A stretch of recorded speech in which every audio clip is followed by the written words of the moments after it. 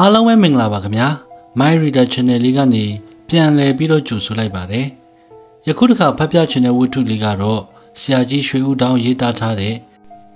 ကတ်စီနေတော်ယဟူဒီအမှုဆိုတဲ့ဇုံတော်ဝတ္ထုတူကလေးပဲဖြစ်ပါတယ်ကတ်စီနေတော်ယဟူဒီအမှုကျွန်တော်ဒီကိစ္စတစ်ခုနဲ့အပြင်တို့ထွက်သွားရမှအိမ်သို့ပြန်ရောက်တော့အခါဦးဆန်ရှားမှာပလက်ကလထိုင်ပေါ်၌ ပလက်လှန်ကဆေးတံကိုဖွာရင်းစဉ်းစားစိတ်ကူးလက်ရှိသည်ကို တွေ့ရ၏ဘဲနဲ့လေတွေးလိုက်ကြမဟုတ်လားပြုဘဲသူလဲလှေကားမှဆင်းသွားတဲ့လူဟာလားဟုတ်ပါတယ်သူ့ကိုခမည်းကဘလို့ထင်တယ်လဲဝိပုံစားပုံကတော့ယဟူဒီလို့ဆိုရမှာပဲမျက်နာကတော့အတော်စိတ်ရှုပ်နေပုံမျက်နှာထားပဲအစ်စ်ပဲလောကကြီးတစ်ခုလုံးဟာဒီလိုချီးပါပဲဗျာ အရေးကိုအကောင်ထင်လို့လိုက်ဖမ်းနေကြနောက်ဆုံးလက်ထက်ရောက်တော့ဘာတွေ့တယ်လဲအမြုပ်လိုပြက်ပြဲသွားတာတွေ့ရတယ်မဟုတ်ဘူးလားခုနေကလူကအမှုသေးလားဗျာဟုတ်ကဲ့ဆိုပါတော့အရက်ထဲမှာကူလို့မရတော့မှဆေးရုံပို့တဲ့လူနာလိုပလိတ်ကအကြံကုန်လို့ကျုပ်စီလမ်းညွန်လိုက်တဲ့အမှုတွေတယောက်ပေါ့ဖြစ်ပုံကဘလို့လဲဗျာဒေးဗစ်နဲ့ရှောလမွန်ကုမ္ပဏီမှာဒုတိယပါသနာအဖြစ်နဲ့အလုပ်လုပ်ခဲ့တဲ့ ရှောလမုန်ပေါ့လင်မနစ်တို့ဆိုဒါတို့ရေခဲတို့လှုပ်ရောင်းတဲ့ကုမ္ပဏီပဲအခုတော့မရှိပါဘူးပြက်ပြီးပါပြီအဖိုးကြီးကငွေ3-4သိန်းလက်ခံရပြီးကျုပ်ကုန်းဖက်မှာအိမ်တလုံးဝယ်တစ်ပင်ကလေးပါလေးဆိုင်အေးအေးဆေးဆေးနေတော့တယ်ဆိုတာပဲသူ့ပုံမှန်ကြည့်ရတာက သူပြောသလိုအနေထိုင်မျိုးနဲ့မကိုက်ပါလားခင်ဗျာအဲလေအေးအေးဆေးဆေးနေတယ်ဆိုပေမဲ့ခုတလောတော့အခက်ခဲတွေ့နေလို့ဟာဗောဗျ ရင်းတို့ပြောဆိုရင်ဦးဆန်ရှာသည်စာအိတ်သိက်ပေါ်တွင်တစ်ဖက်၌ရေးချင်မှတ်ယူထားသည်များကိုလှမ်းကြည့်၍ဆက်လက်ပြောကြားသည်မှာကမ်ပဏီဖြတ်သိမ်းလိုက်တာ10နှစ်လောက်ရှိသွားပြီတဲ့ဒီအခါမှာသူကအသက်40ကျော်ရှိနေပြီးပထမအိမ်တော်ပြက်လို့မုတ်ဆိုးပူကြီးဖြစ်နေနေလာခဲ့ပြီးမှရှောလမုန်ကအသက်40ကျော်အရွယ်မှာနောက်အိမ်ထောင်ပြုပြီးလင်မယားနှစ်ယောက်အငိမ့်စားဖြစ်နေနေထိုင်ခဲ့ကြတဲ့မိန်းမက သူ့ထက်15နှစ်လောက်ငယ်တယ်ဟောဒီတက်ပုံပဲမိန်းမချောမိန်းမလားတယောက်ပါပစ္စည်းလည်းရှိမိန်းမချောတယောက်လည်းရရှေ့ဖို့မှာအေးဆေးထိုင်စားပြီးတသက်လုံးငြိမ်းချမ်းစွာနေကြဖို့ပဲမဟုတ်လားဗျာဒါပေမဲ့မဟုတ်ရသေးဘူးဗျဒုက္ခတွေ့ရသေးတာပဲဘယ်လိုဖြစ်လို့လဲဗျာစာအုပ်ကြီးတဲ့ကအတိုင်းပေါ့ဗျာတစ္ဆာမရှိတဲ့မိတ်ဆွေနဲ့ပေါင်းမိလို့မယားကိုကြာခိုပြီးပစ္စည်းတွေယူထွက်ပြေးကြတဲ့ဂိမ်းပါ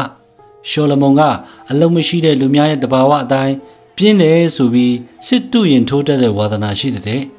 စစ်တုရင်ကတော့ဗမာစစ်တုရင်မဟုတ်ဘူးအနောက်တိုင်းကကစားနည်းမျိုးပဲသို့တော့ရှင်ဘရင်နဲ့မြင်းနဲ့ယထာနဲ့ဆိုတော့ခက်စင်စင်သူသားပဲ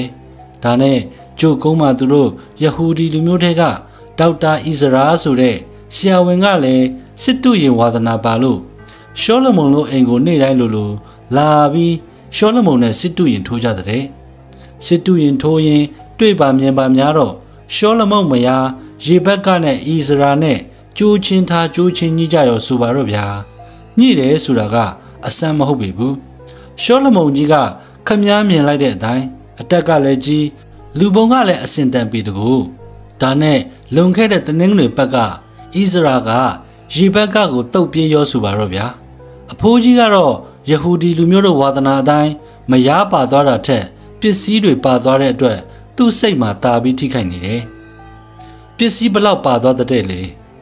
သူ့လက်ဝက်လက်စားရောငွေရောရှယ်ယာလက်မှတ်တွေရောဆိုတော့၄၅၈တောင်းထက်မနှဲပေဘူးထင်တယ်ဒီတော့ခမားကဘဲနဲ့လုပ်မလဲခုချက်ချင်းတော့ကျုပ်ကိုယ်တိုင်ဘာမှမလုပ်နိုင်သေးဘူးဗျ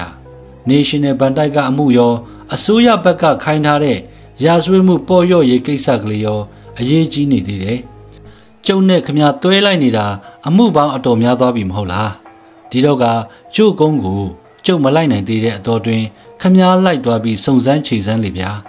ဒီအရင်လဲအမှုနှစ်ခုသုံးခုခမကူညီခဲ့ဘူးပြီမဟုတ်လားကူညီတာကကိစ္စမရှိပါဘူးဆရာကြီးတော်တော်ကြာဖြစ်ကျွန်တော်မျက်နှာကောင်းရတယ်လို့ဘရောမှမရှိဘူးဟိုဟာဖြစ်လိုနေတာနဲ့ဒီဟာဖြစ်ညံ့နေတာနဲ့ အပြစ်တင်ခံရတာကြီးပဲကြုံရတယ်ဒီလိုလည်းမဟုတ်ပါဘူးလေကျုပ်ဝါသနာလည်းခမသိသားပဲကျုပ်ကမမိတတ်လို့အားမရမိတာပါသူတစ်ပါးထက်တော့ခမရအပုံကြီးတာပါတယ်ဗျမตาရင်လည်းမကောင်းနိုင်ဘူးဗျာခမရနဲ့တွဲလိုက်ခဲ့တာအတော်ကြာနေမှပဲဦးဆန်ရှားမှာအထင်ကြီးသောလူများကိုနှိမ်ချင်တတ်သောဝါဒနာတိုင်းကျွန်တော်အားနှိမ်လုံးကလေးပြောအောင်မီပြုပြီးမှသူ့စိတ်ကိုသူ ချုပ်တီး၍ပြုံးယုံမြတာပြုံးလိုက်လေသည်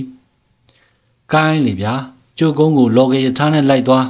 ဟိုရောက်တော့မြင်းလဲကလေးစီးပြီးရှောလမုန်အိမ်လိုက်ပို့ပါဆိုရင် ရောက်နိုင်ပါတဲ့။သူ့အိမ်ကိုမြင်းလဲသမားတိုင်းသိပါတယ်တဲ့။ကျုပ်ကိုယ်တိုင်မလာနိုင်ကြောင်းကိုလည်းရှောလမုန်ကိုကျုပ်ပြောပြလိုက်ပြီးသားကပဲ။ခမားကိုကျုပ်ကိုယ်စလဲအဖြစ်နဲ့လက်ခံပြီးမေးသမျှကိုဖြေပါလိမ့်မယ်။ကျွန်တော်ဒီကွန်းချံကုန်းဘူတာယုံတို့သွား၍ နိုင်တဝက်လင်သစည်းမြထွက်တတ်သောလော်ကယ်မီးရထားနှင့်လိုက်ပါသွားစဉ်မကြာမီအတွင်းရန်ကုန်မြို့ကလားအင်္ဂလိပ်မြန်မာသတင်းစာများကစလုံးကြီးများနှင့်ထည့်သွင်းဖော်ပြကြသည့်အမှုကြီးတစ်ခုဖြစ်လာလိမ့်မည်ဟု၍ထိုအခါကမသွေးထင်မိခဲ့ပြီကျွန်တော်ဒီကျုပ်ကုန်းမှပြန်လာ၍ဦးဆန်ရှာအားအမှုအကြောင်းနှင့်ပတ်သက်၍အစီရင်ခံရန်တိုက်ပေါ်တို့တက်လာတော့အခါမှောင်မိုက်စပြုနေလေပြီ ဦးဆန်ရှာမှာနနက်ခင်းအချိန်တွင် ကျွန်တော်ထွက်လာစဉ်ကအတိုင်းပလက်ကလထိုင်ပေါ်၌စေးတံဖွာလဲရှိသည်ကိုတွေ့ရသည်ဖြင့်တနေ့လုံးအိမ်ကထွက်မှထွက်သွားပါလေစဟုမှတ်ထင်လောက်ပေသည်ဦးဆန်ရှာသည်ကျွန်တော်ပြောပြသောအကြောင်းအရာများကိုမှိန်းလျက်နားထောင်နေရမှ မရှင်းလင်းသို့မဟုတ်မချေနှက်သောအချက်တွေ့ခါမှသူ၏ထက်မြက်ကြည်လင်ဆူးရှသောမျက်လုံးကြီးများကိုတစ်ချက်တစ်ချက်ဖွင့်ကာကျွန်တော်အားလှမ်းကြည့်လိုက်လေတော့သည် ရှောလမုန်နေတာကဟိုအစွန်ဖျားမှာနှစ်ထပ်တိုက်အုပ်ကြီးဗျလက္ခဏာတော့ဈေးချောင်ရလို့ဝယ်လိုက်တာနဲ့တူတယ်ဝင်းနဲ့ခြံနဲ့ပန်းပင်ကလေးတွေနဲ့ရှိပါရဲ့ဒါပေမဲ့ကုတ်ကိုပင်ကြီးတွေအုပ်ပြီးအစွန်အဖျားလေးဖြစ်ပြန်အိမ်အကြောင်းကိုဒီလောက်ပြောရရင်တော်တော့ပါပြီဗျာလမ်းနဲ့တော်တော်ဝေးတယ်ဆိုမဟုတ်လား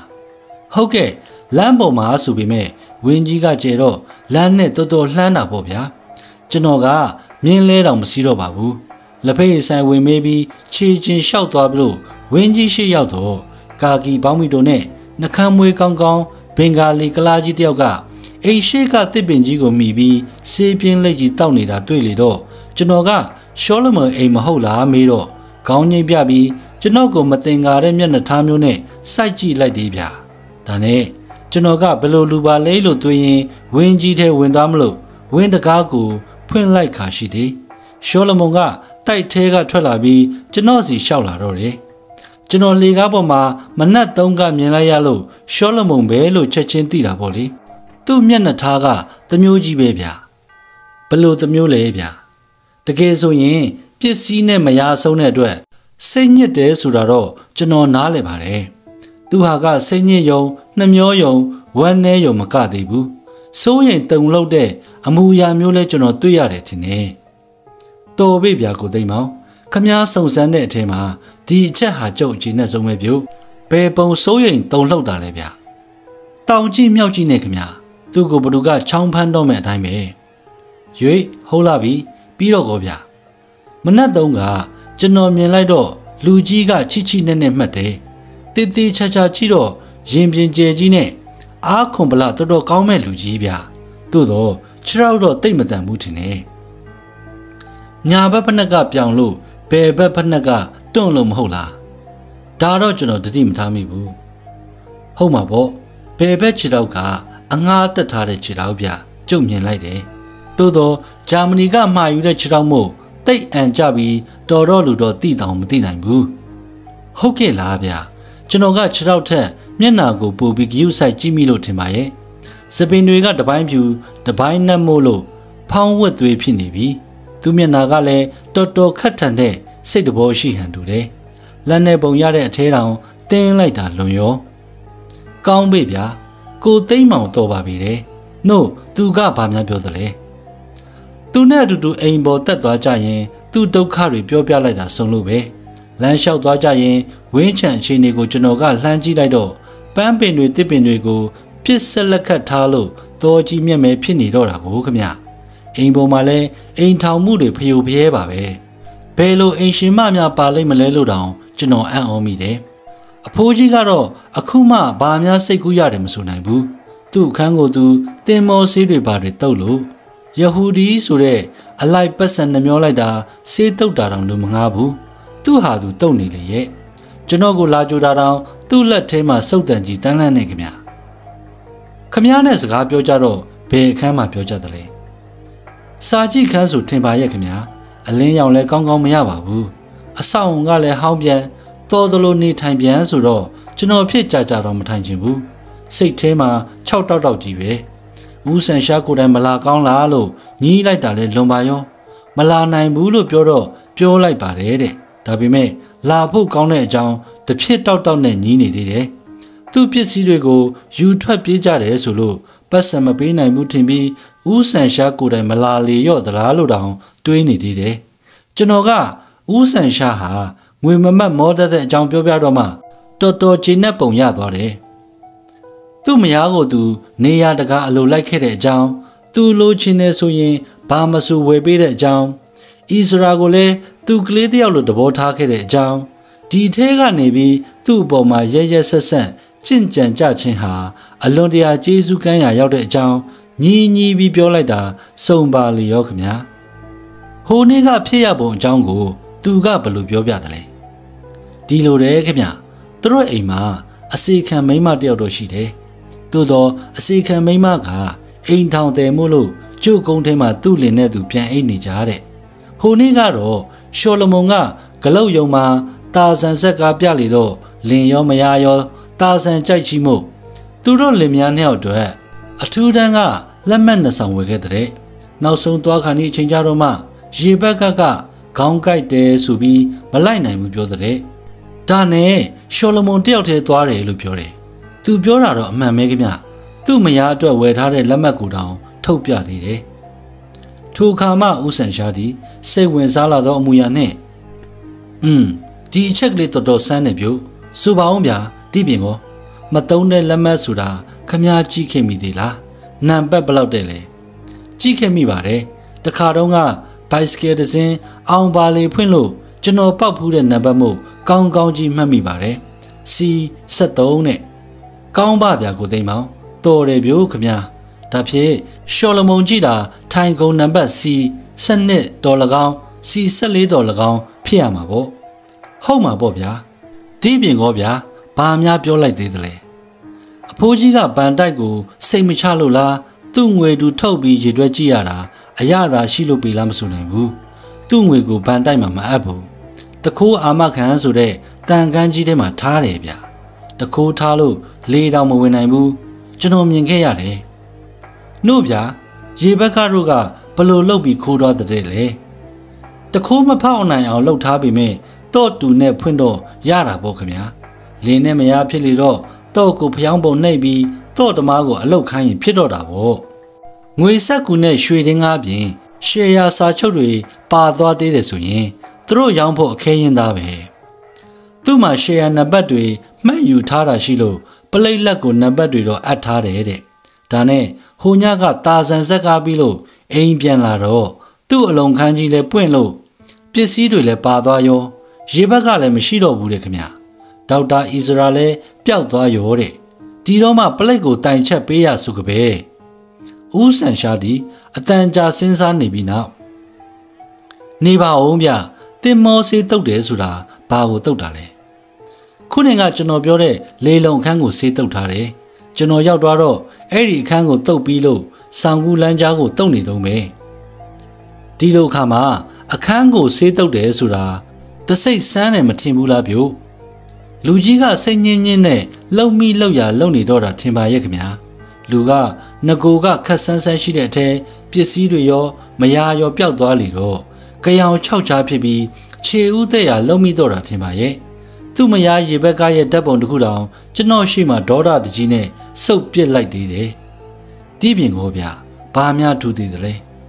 ထူတာတခုတော့ကျွန်တော်ပြောပြရအောင်မယ်ကျွန်တော်ကဘူရာယုံကိုခြေချင်းလျှောက်ပြန်လာပြီး ဒုတိယတန်းလက်မှတ်တစ်ဆောင်ဝဲယထာထွက်ခါနီးမို့ကတိုက်ကြရိုက်ခုံတက်လိုက်တော့လူတယောက်ကလည်းဘူဒါထဲကပြေးထွက်လာပြီးကျွန်တော်နောက်ကတွဲပေါ်ပြေးတက်လိုက်တာမြင်လိုက်ရတယ်အဲ့ဒါလည်းအခြားလူမဟုတ်ဘူးခင်ဗျာရှောလမုန်ချန်ရှိမှတွေ့ခဲ့တဲ့ကာကီဘောင်းမီတိုနဲ့ကလာပဲကိုးချံဘူဒါရောက်လို့ကျွန်တော်ယထာဘော်ကဆင်းတော့သူ့ကိုလှည့်ကြည့်လိုက်ရမှာမယောင်မလဲလှုပ်ပြီးလူတွေထဲရောလိုက်သွားလေရောခမ ကျွန်တော်အထင်တော့ကျွန်တော်နောက်ခြေရခံလိုက်နေတဲ့လူနဲ့တူတယ်ဟုတ်မှာပေါ့လေလူခက်ကုတ်ကုတ်မိခိုးရောင်မျက်မှန်ကြီးတက်လို့ဟုတ်လားအလိုခမဘဲနဲ့လှုပ်ပြီးသိတယ်လေဗျာလမ်းလျှောက်တော့ခက်ကိုင်းကိုင်းလျှောက်တတ်တယ်လေလွန်လာချီလားဆရာကြီးခမနောက်ကလိုက်ကြည့်လို့ဟာလားဒါကတော့သိမဆမ်းပါဘူးကိုသိမ်းမောင်ဒါထက်ကျုပ်တို့အမှုကလေးကခက်ရိုးရိုးလိုလိုနဲ့တော်တော်ဆန်းလာတယ်ဗျို့ ခမကအရေးကြီးတာတွေခြံထားခဲ့ပြီးမဖြစ်စလောက်သတင်းတွေယူလာခဲ့ပေမဲ့ခမစီကကြားရတဲ့လောက်သတင်းအစအနကိုကြည့်ရခြင်းအဖြစ်တော်တော်နဲ့နေတဲ့အမှုကလေးတစ်ခုဖြစ်နေကြောင်းထင်ရှားတယ်ကျွန်တော်ကဘာတွေခြံထားခဲ့လို့လဲဗျာကျွဲမီမတူပါနဲ့လေကိုသိမ်းမောင်ကျုပ်ကအပြစ်တင်တာမဟုတ်ပါဘူးခမားထက်တာအောင်ဆောင်ရွက်နိုင်တဲ့လူတော့ခက်ရှားရှားပဲလို့ကြုတ်ဝင်ခံပါတယ်သို့တော့ခမားကအရေးကြီးတာတွေအများကြီးခြံထားခဲ့တယ်ဗျ ဥပမာအိမ်နီးပါချင်းများကရှောလမုန်လင်များပေါ်မှာဘယ်လိုထင်မြင်ယူဆချက်ရှိကြတယ်ဒေါက်တာအီစရာဆိုတဲ့လူဟာဘယ်လိုလူဖြစ်တယ်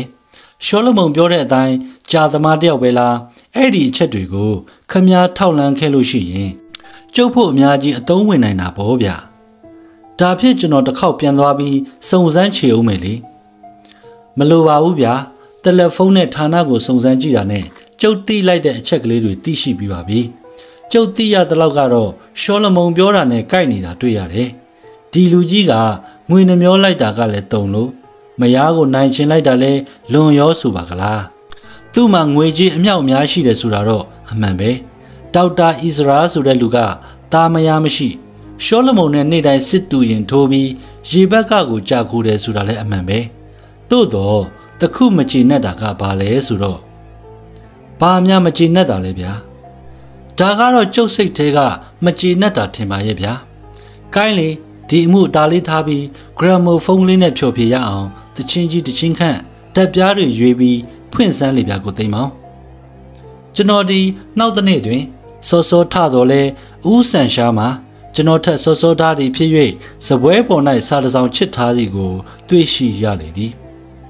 ရှောလမုန်အမှုနှင့်ပတ်သက်၍ထောက်လန်းလိုသောအချက်ကလေးတစ်ခုနှစ်ခုရှိသေးသည် ထောက်လန်းပြီးတော့အခါ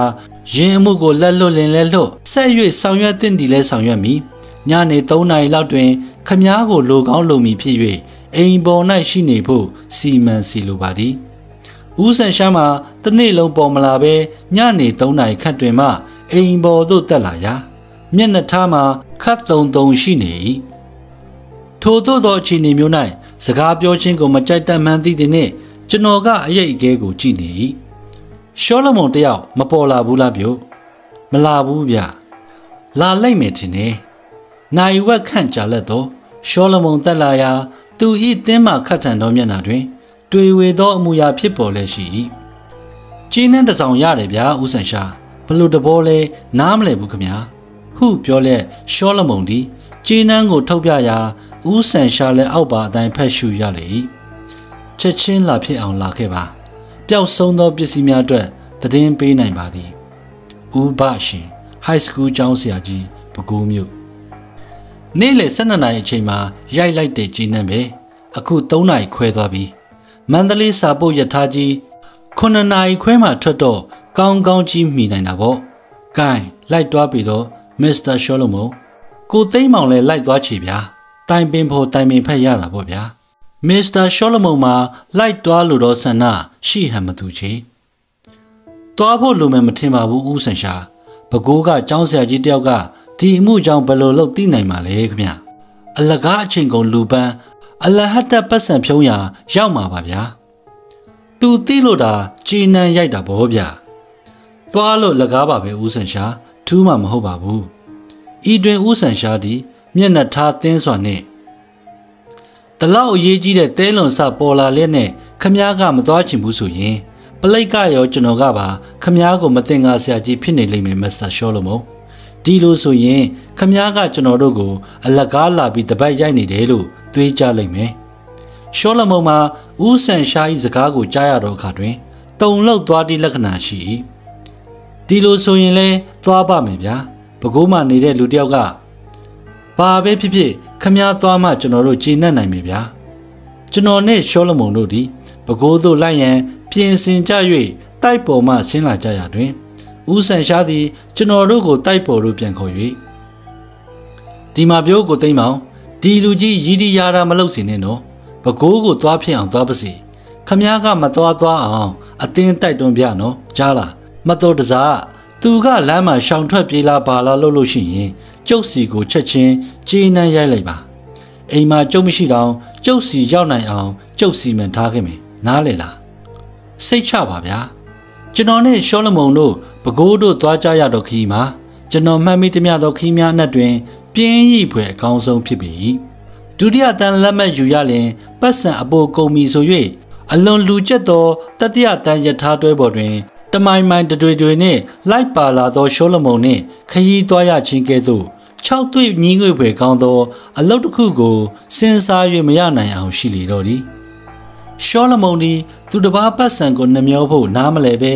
ကိုချင်းစာတရားနေပါသောစုံတော့များဟု၍လဲတပြစ်တောက်တောက်ညင်းညူလေသေး၏ကျွန်တော်တို့သည်ပကိုးပူတာရောက်၍ဒုတိယတန်းစာပွဲခန်းတွင်ညစာစားကြပြီးနောက်ဥပရှင်၏နေအိမ်ကိုစုံစမ်းရာဆိုင်ကနိုင်းရက်ကတွင် နေထိုင်ကြောင်းသိရ၍လမ်းကြားတစ်စီးနှင့်သွားကြ၏ ကျောင်းဆရာကြီးဥပရှင်မှာနှကမ်းမွေးကောင်းလှ၍ကျောင်းသားလန့်လောက်သောမျက်နှာမျိုးရှိပေရာကျွန်တော်တို့ကိုမြင်သောအခါ၌အံ့ဩသောအမူအရာနှင့်ထိုင်ကြပါဟုဆိုသည်ဖြင့်ကျွန်တော်တို့လည်းဧခန်းတွင်ဝင်ထိုင်ကြ၏ဘလို့ကိစ္စပါလဲခင်ဗျာခမည်းကဂျင်းနှန်းရိုက်လိုက်လို့လိုက်ခဲ့ကြတာပါပဲဘယ်တော့ကကျွန်တော်ဂျင်းနှန်းရိုက်လို့လဲရှောလမုန်ကဂျင်းနှန်းကိုထုတ်ပြ၍ဥပရှင်လည်းဖတ်ကြည့်ပြီးနောက် ဥကောင်းကိုကုတ်နေ၏ခက်လာပါကလာကယိုဘာခတ်တာလဲခင်ဗျာနာမည်ကတော့ကျွန်တော်နာမည်မှန်ပါတယ်နှုတ်ခမည်းဂျင်းနှန်းမဟုတ်ဘူးလားဘယ်ကဟုတ်ရမှာလဲခမားစီကျင်းနှဲရရအောင်ဘယ်တော့ကခမားကိုကျွန်တော်ကသိလို့လဲပစ္စည်းပြောက်တဲ့အကြောင်းကိုဘသူကဘာပစ္စည်းပြောက်မှန်းဘယ်ကလာကြုတ်တိရမှာလဲဤတွင်ကျွန်တော်ကပဲခူးမျိုးတွင်ဥပရှင်အမိခံ အခြားကျောင်းဆရာတယောက်ရှိပါသေးသလိုဟုမေးရာဥပရှင်ကယင်းအမိနှင့်အခြားကျောင်းဆရာတယောက်ရှိတော်လဲ high school ကျောင်းဆရာကြီးဥပရှင်ဆို၍မိမိတယောက်တည်းရှိကြောင်းပြောပြလေ၏ဂျင်းနံကတနေရာရာ၌မှားနေကြောင်းသိချ၏အခြားသိချသောအချက်တစ်ခုမှလည်းဥပရှင်လောကဝိနည်းပုံကို ထောက်ခြင်းအဖြစ်ကျွန်တော်တို့မှာသူဤနေအိမ်၌အိတ်ခွင့်မရဘဲတဲခိုရန်အခန်းတစ်ခုခုရှာကြရပြီတော့မီ ရှောလမုန်ကပကိုးမျိုးပေါ်တွင်အတိမိတ်ဆွေမရှိသောကြောင့်တဲခိုဆရာမရှိကြောင်းညီးသွားတော်လဲဥပရှင်ကသူ၏အိမ်၌အိတ်ကြဖို့အကြံမပေးဘဲဈေးနီးနားတွင်တရုတ်ဟိုတယ်တစ်ခုရှိ၍ပတ်စံပေးလင်အိတ်ခွင့်ပြုလိုက်မိထင်ကြောင်းပြောသည်နှင့်ကျွန်တော်နှင့်ရှောလမုန်တို့မှာစိတ်ပြက်စွာနှင့်ဆင်းလာခဲ့ကြရလေသည်တရုတ်ဟိုတယ်ကိုတွေ့၍အိတ်ကြဖို့စီစဉ်ပြီးနောက်ကျွန်တော်ဒီဦးဆန်ရှားထံ တယ်လီဖုန်းဆက်၍အဖြစ်ပြက်ကိုပြောရာဦးဆန်ရှားကဆန်းလာချီလာဗျာ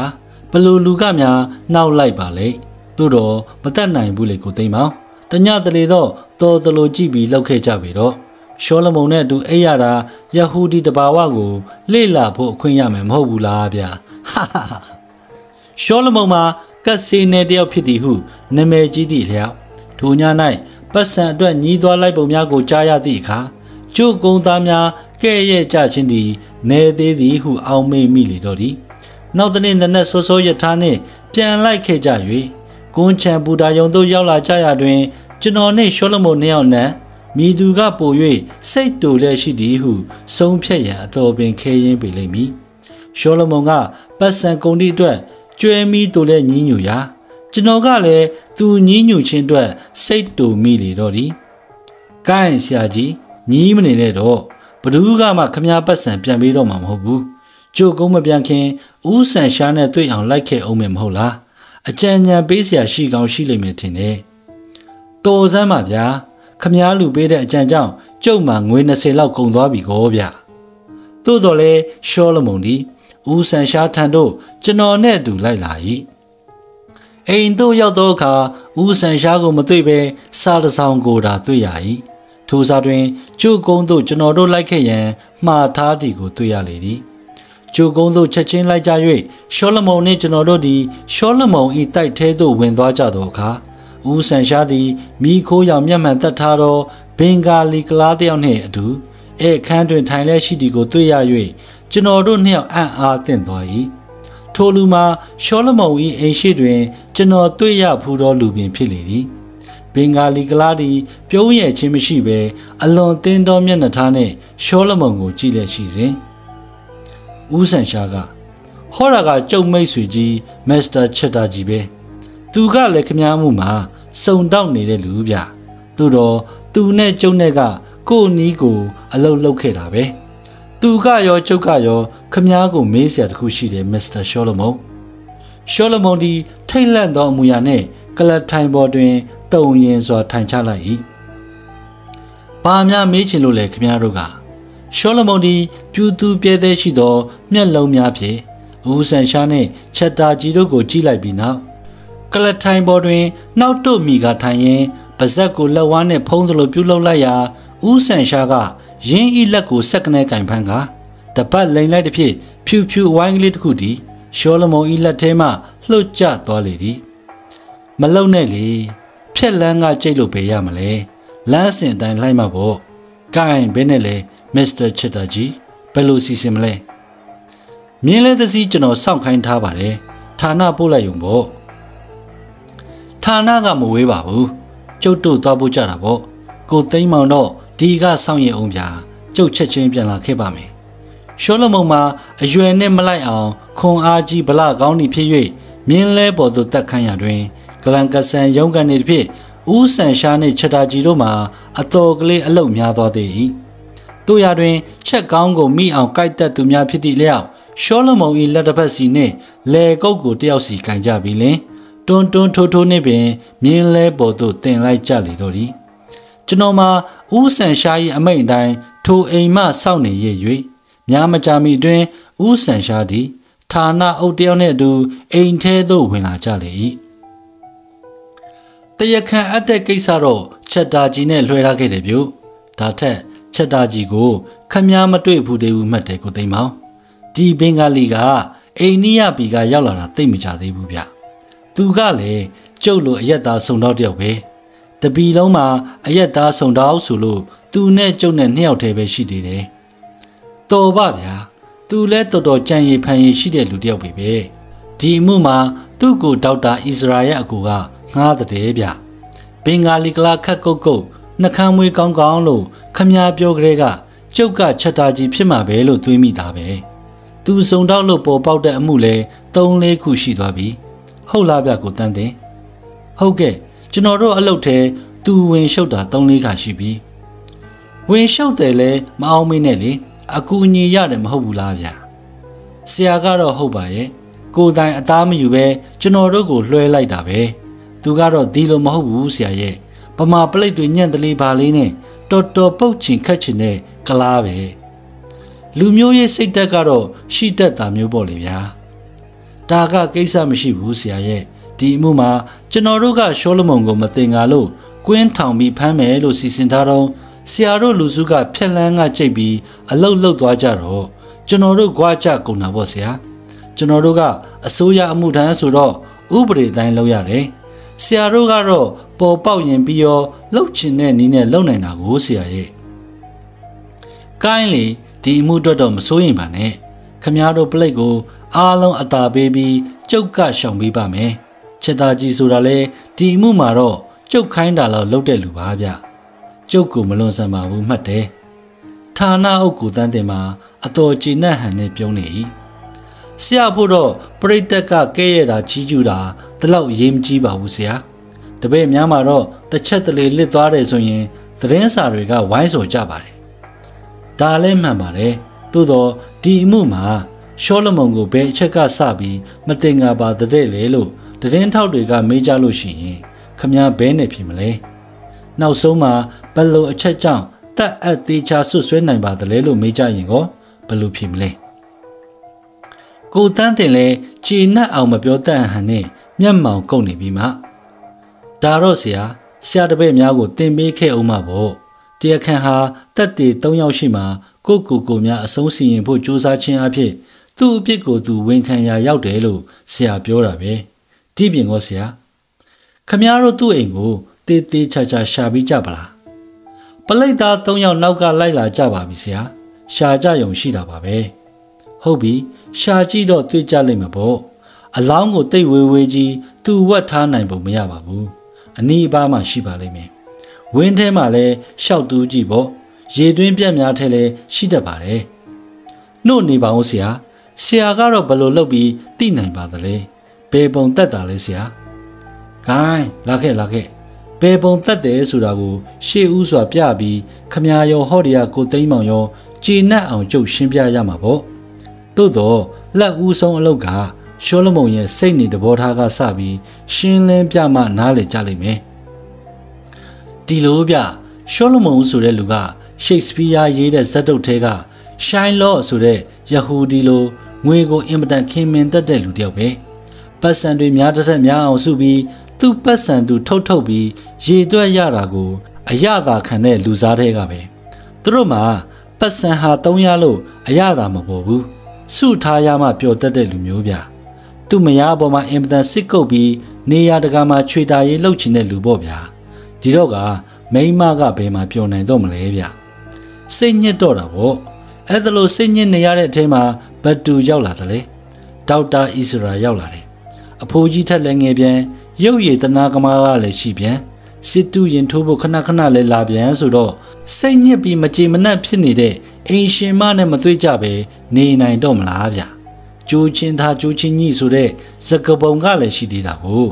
ဒီတော့အတွင်းမှာရှောလမုန်ကလည်းငကိုကမတင်ငါတက်တဲ့တဘောရှိလေတော့သူတို့အဖြစ်ပြက်ကိုရိပ်မိသွားပြီးစိတ်ခတ်ထန်တဲ့လူများတဘာဝအတိုင်းလက်တုပ်ပြန်ဖို့အကြံပြုရောဆိုပါတော့ဗျာ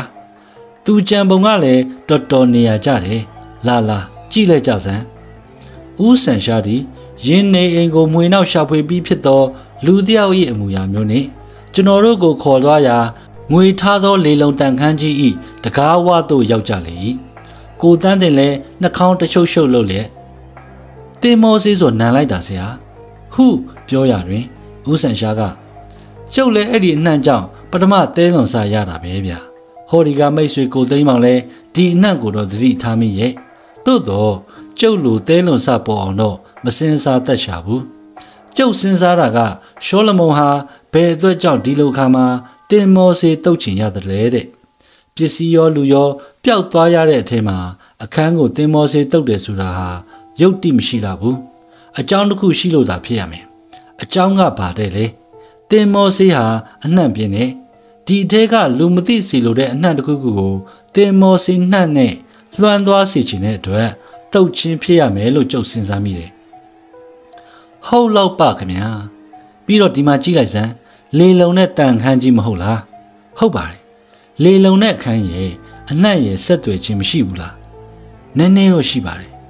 ကျုပ်စိတ်ထဲမှာတော့များများကြီးရှိလို့ဒီအခန်းကိုကျုပ်ကိုယ်တိုင်တည်တည်ချာချာစုံစမ်းခြင်းနဲ့စိတ်ဖြစ်ပေါ်လာတယ်ပြီးတော့တစ်ချက်ကလည်းဟိုးညကရှောလမုန်ဟာ ဂလုတ်ယုံမှာတာဆန်ဇက်ကားကြည့်ရအောင်သွားတယ်ဆိုမဟုတ်လားအဲ့ဒီညကထိုင်ကုန်နံပါတ်စီ7နဲ့ရော14ရောမယောင်းရလို့ကွက်လက်ကြံနေတာကို ထိုင်ကုန်ဇရာကွက်တောင်းကြည့်လို့ကျုပ်တွေ့ရတယ်ဒီတော့ကရှောလမုန်သာထိုင်ကုန်နံပါတ်စီ73လက်မှတ်ကိုဝယ်ယူမှန်ရင်လဲဟိုညကဂလုတ်ယုံကိုသွားမကြည့်ကြောင်ထင်ရှားတယ်မဟုတ်လားတိတ်မရှင်းသေးပါခင်ဗျာဒီလိုဗျသူတို့လင်မယားနှစ်ယောက်ကြည့်ဖို့အတွက် လက်မှတ်နှစ်ဆောင်ဝယ်ထားပြီးသူ့မယားမလိုက်ဖြစ်လို့သူတယောက်တည်းသွားကြည့်ရပါတယ်တဲ့သူ့မယားလက်မှတ်နံပါတ်စီ73ကိုကိုသိမ်းမောင်မြင်ခဲ့ရတယ်ဆိုတော့သူကြည့်ရင်ထိုင်ကုန်နံပါတ်စီ7ဖြစ်စေစီ14ဖြစ်စေကြည့်ရမယ်မဟုတ်လားအခုတော့ဟိုညကစီ7ရော14ရောမယောင်းရပါဘူးဆိုတော့သူသွားကြည့်တယ်ဆိုတာညာပြောတာပေါ့ဗျာထိုင်ကုန်ဇရာကွက်တွေတိန်ထားလို့လားခင်ဗျာ ရုပ်ရှင်ကဘယ်နေ့ဘယ်ချိန်မှာဘယ်ထိုင်ကုန်နံပါတ်ရောင်းရလို့ဘယ်ခုံနံပါတ်မရောင်းရဘူးဆိုတာဇရာကွက်မှာကြက်ချီခက်ပြထားတယ်ဗျာဇရာတွေကိုသူတို့တော်တော်နဲ့လှုပ်မပစ်ဘူးတောင်းကြည့်ရင်ရနိုင်တယ်ပလိတ်လုံနေပြီးခမ ्या ကဒီလောက်မှအသုံးမချဘူးပဲကိုအန်တီဝါရီကတပည့်ကြီးတယောက်လို့မှတ်ထားလိုက်ပါဆရာခမညာကောင်းပြီဒီတော့သူ့အိမ်ကိုကြုတ်ကြည့်ရှင်တယ်သို့တော့သူမသိအောင်တယောက်တည်းကြည့်နိုင်အောင်ဘယ်လိုလုပ်မလဲတဲ့ မတတ်နိုင်ဘူးကိုသိမ်းမောင်ကြီးခမားကိုသူနဲ့တူပကိုးသွားဖို့လှုပ်ရတော့တာပဲသူတယောက်တည်းလှုပ်ရရင်မတော်တဆလှည့်ပြန်လာခြင်းလာမှဆိုလို့ခမားပါထည့်လိုက်ရတော့တာပဲဥပရှင်လက်ကိုတော့ဒါရတိုရီထဲမှာကြည့်ပြီးဖန်တီးလိုက်ရတယ်ကျင်းနှန်းကိုဘယ်သူရိုက်လိုက်တာလဲဗျာဒါကတော့မခတ်ပါဘူးဌာနကကျုပ်တပည့်မောင်ပတောင်းကိုကျင်းနှန်းရိုက်ပြီးတင်ပေးလိုက်တော့ဥပရှင်နမည်နဲ့ရိုက်လိုက်နိုင်တာပေါ့ ဆက်ဆန်းပါဦးဆရာဒါနဲ့သူတို့နှစ်ယောက်ကိုပကိုးလွတ်လိုက်ပြီးကျုပ်တယောက်တည်းညတွင်ချင်းဒီအိမ်လာကြည့်တော့တာပေါ့ပိတ်ထားတဲ့တကားတွေဖွင့်တာလောက်တော့ကျုပ်အဖို့အပြော့ပေါ့တခိုးလှုပ်ရှားရရင် ပထမတန်းငတက်ပြဖြစ်နိုင်မှာပေါ့ဗျာယုံကြည်ပါတယ်ဆရာသူ့လေလုံခန်းကိုတည်တည်ချာချာဝင်ကြည့်တော့ဟောဟိုကတူလီမိုလီပစ္စည်းခန်းနဲ့ပိုက်လုံးတစ်ခုဆက်ထားတာကိုတွေ့ရတယ်ဒီအိမ်ဟာနေနေရရအိမ်မဟုတ်ဘူးဗျမူလတုန်းက ဒင်္ဂါအတုတွေညှက်ပုံတွင်းဖို့အတွက်တမင်တကာရည်ရွယ်ပြီးစောက်ထားတဲ့အိမ်နဲ့တူတယ်လာလာကြည့်လိုက်ကြစမ်းကျွန်တော်တို့ဒီဥဆန်ရှားနောက်တို့လိုက်သွား၍တူလီမိုလီအခန်းသို့ရောက်ကြတော့အခါနေရန်တွင်ဖားဖို့တလုံးရှိ၍ဖားဖို့ရှိမှပိုက်လုံးတွေ့ပြီးလင် လေလုံခန်းထဲသို့ပိုက်လုံးသွင်းသွားသည်ကိုတွေ့ကြရ၏စီမံထားပုံမှာဖားဖို့ရှိ၌ရှိသောမီးရွေးဖို့ထဲသို့ဓာတ်တတုတစုံတရာထည့်၍ဖားဖို့နှင့်လေပေးလိုက်လင် တန်းငွေများသည် လေလုံခန်းထဲသို့ဝင်သွားမည်ဖြစ်လေသည်။ဂိုင်းခမည်းတော်ဘယ်လိုစိတ်ကူးပေါ်ကြသလဲ။မသွေးသက်သေးပေါင်ဆရာ။ဒီလိုဗျလူတယောက်နှစ်ယောက်ကို လေလုံခန်းထဲတွင်ပြီးဖားဖို့နဲ့မှိုင်းတိုက်ပေးလိုက်ရင်နိုင်တဝက်လောက်ကြာအောင် အသက်ရှင်နေနိုင်တဲ့လူမရှားပေဘူးလား။ထိုခါမှကျွန်တော်တို့မှာဦးဆန်ရှားဤသွေးလုံးကိုရိပ်မိ၍ကြက်တီးမွေးငင်းထမိကြတော့သည်။ဒါနဲ့မင်းညက ဒီအခန်းကိုတည်တည်ချာချာဝင်ကြည့်ပြီးကိုဟာကိုဂျင်းနဲ့လို့ပြန်ထွက်လာရမှာကျုပ်လေကုတ်ကိုကင်ဖမ်းတဲ့ပြီးမိပြီကွာဘာလာလောက်တာလဲပြောစမ်းတဲ့အင်္ဂလိပ်လိုငေါက်ပြီးမေးလိုက်ပါရောကိုဗျာကျုပ်ကသူ့အတန်ကိုသိလို့အကြံသူချင်းတွေ့နေကြပြီမင်းကိုချက်တာကြီးလို့ပြောလိုက်တော့မှလေဘင်းကိုလွှတ်လိုက်ပြီးနှစ်ယောက်သားအားရပါရရေကြသေးတာကိုချက်တာကြီးကလည်းဒေါက်တာအီဇရာရဲ့အကူကရှောလမုန်ကိုမတင်ငါတဲ့အတွက် သူ့ငါပြီးစုံစမ်းခိုင်းလို့ကျုပ်လိုပဲတိတ်တိတ်လာပြီးစုံစမ်းတာဖြစ်နေတာကိုသူကလည်းကိုသိမ်းမောင်ကိုဟိုနေ့ကတွေ့လိုက်ရလို့မတင်ငါဘူးတဲ့ဗျာကျုပ်ကိုပြောပြလို့ရေကြရသေးတယ်ကျွန်တော်နဲ့ကိုတန်းတင်တို့လည်းရေကြရသေး၏ရှောလမုန်ကသူ့မယားနဲ့အစ္စရာကိုမတင်ငါလေတော့လက်တုံပြန်ဖို့ကြိတ်ကြံနေဟန်တူတယ်ကြာခိုတဲ့လူနဲ့မယားလောက်တဲ့မိမကတောင်လင်ကြီးရိမ့်မိတယ်ဆိုတာကိုတိကျဟန်လက္ခဏာမရှိဘူး သူတို့ဟာသူတို့လုံလပြီးအောင်းမေ့နေကြထင်ပါရဲ့ဒါနဲ့ရေဘက်ကနဲ့ဣဇရာကိုဘယ်လိုပရိယံနဲ့ပစ္စည်းထားတဲ့အလုံခန်းကြီးထဲရောက်အောင်သွေးဆောင်တယ်လို့မပြောတတ်ပါဘူးသူတို့နှစ်ယောက်လည်းအထဲရောက်ကြရောရှောလမုန်ကလည်းတန်တကားကိုပိတ်လိုက်ကြရောဖြစ်မှာပေါ့တမြန်နေ့ကဒီအိမ်ကိုကျွန်တော်တို့လာပြီးစစ်ဆေးကြတော့ကကျွန်တော်တပည့်တယောက်ကတော့တင်မောစီဆိုနန်တဲ့အကြောင်းကို ပြောတော့ပြောသေးတယ်ကျွန်တော်တို့ကမသွေးမိကြလို့သာဆရာရဲ့ အဲ့ဒီနေ့ကလေးကရှောလမုန်ကသင်္ဘောဆေးတွေစားတုံနေပြီခင်ဗျာ။ကိုင်ပြောပါဦးဆရာ။ကျုပ်အသွေးအဆကိုထောက်ခံထားတဲ့အချက်ကလေးတစ်ခုတော့ကျုပ်ပြနိုင်တယ်။ဒီလိုပြကိုတန်းတင်တခါတလေလူတယောက်အကြောင်းကိုစဉ်းစားတဲ့အခါသူ့နေရာမှာကိုယ်တိုင်ဝင်နေပြီးကိုဖြစ်ရင်ဘယ်လိုလုပ်မလဲလို့စိတ်ကူးကြည့်တတ်ရင်တိတ်အဖိုးတန်တယ်ဗျ။ကောင်းပြီကိုတန်းတင်ခမားတော့အလုံခန်းထဲမှာတွင်ထားပြီး အော်လို့ဟစ်လို့လဲလူမကြားနိုင်ဘူးဆိုရင်ခမဘဲနဲ့လုံးမလဲစိတ်ကူးကြည့်စမ်းထယံမှာဖြစ်စေစာရေးပြစ်ခဲ့မိမလားမဆိုနိုင်ဘူးဆရာအစ်စ်ပဲပြိုကိုတန်းတင်ကိုင်းလာကြဟောဒီမှာကြည့်လှည့်ကြစမ်းကျွန်တော်နဲ့ကိုတန်းတင်တို့ဒီအလုံခန်းအတွင်းရှိကြွက်လျှောက်၌ဥဆန်ရှာထောက်ပြတော်နေရာကိုကြည်လိုက်ကြသောအခါအင်္ဂလိပ်ဘာသာဖြင့်ရှောလမုန်ကကျုပ်တို့ကိုပိတ်လောင်၍တပ်ပါသည် ဟူ၍ဖောင်တိန်နှင့်ရေးချစ်ထားသောစလုံးများကို တွေ့ကြရလေ၏လက်ရေးမှမူမွန်းနှင့်တစ်ဖြစ်မေလူခါနီးတွင် ရေးသားထားသည့်လက္ခဏာနှင့်ကိုယိုကာယာရှိနေလေ၏ထို့နောက်ကိုတန်းတင်ကသူ့မှာရှေယာလက်မှတ်တွေရှိတာတော့အမှန်ပဲဆရာကျွန်တော်တို့ထောက်လန်းကြည့်ပြီးပြီအဲလေရှိပေမဲ့ပျောက်တယ်ဆိုပြီးသူ့ဟာသူဝတ်ထားမှာဗောဗျဒီအမှုအကြောင်းကိုလူတွေက မေးလောက်ပြီးဆိုတော့မှ ကြာသမားစုံတွေကနောင်ရရပြီးစာချုပ်တွေကို စာတိုက်ကပြန်ပို့လိုက်ပါတယ်ဆိုပြီးကြေညာနိုင်တာပေါ့ဟုတ်ပါပြီဆရာဆရာကဖြစ်စိနေအောင် ရှင်းလင်းနိုင်တာကြီးပဲကိုသို့တော့ကျကျွန်တော်တခုနားမလဲတာကဆရာစီသူကတမင်သွားပြီးငှားတလေးဘာလေးလောက်တာအံ့ဩတယ်ဆရာရဲ့ဒါကတော့သူ့ဟာသူလုံလပြီးထင်ပြီးဟိုလူဒီလူတွေစိတ်မသုံးမသန့်ဖြစ်ကြတဲ့အခါမှာနိုင်ငံကျော်စုံတော့ကြီးဦးဆန်ရှားကိုတောင် သူငှားပြီးထောက်လန်းခိုင်းမိပါသေးတယ်လို့ပြောချင်လို့ဖြစ်မှာပေါ့ဗျဟုတ်ပါပြီဆရာနေရာကြပါပြီခင်ဗျာဆို၍ရေမောလေ၏ထို့နောက်သုံးရက်မြောက်သောနေ့၌ဦးဆန်ရှားသည်မြမအလင်းသတင်းစာတစ်စောင်ကို ကျွန်တော်လက်သို့ပစ်ပေးလိုက်သည်ဖြင့်ကြည့်လိုက်ရာတွင်ညံများသောယဟုဒီတရခံသူ့ထက်သူ လူဆွမ်းကောင်းသောဌာနအုပ်ဦးတန်းသည်အစရှိသောခေါင်းစဉ်ဖြင့် ကျုပ်ကုန်းလူတက်မှုအကြောင်းရေးသားဖော်ပြထားသည်ကို တွေ့ရလေ၏နောက်ဆုံး